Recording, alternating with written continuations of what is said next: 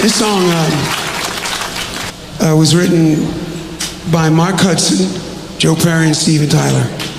And, it was a magic moment, again, um, in the life of the band. We'd never met Mark before.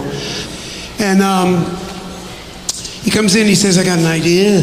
And he loves John Lennon. He loved him very much, you know.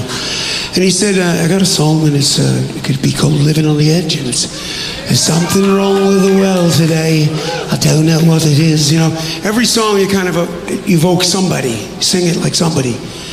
And the lyrics just showed up. It, took us about uh, four hours, and we nailed that one. And um, produced by Bruce Fairbairn, released 1993 off of Get a Grip.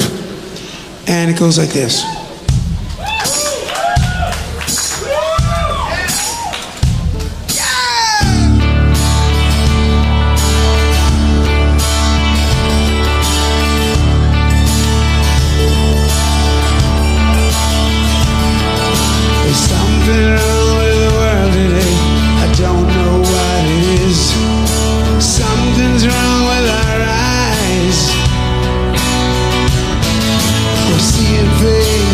Different way.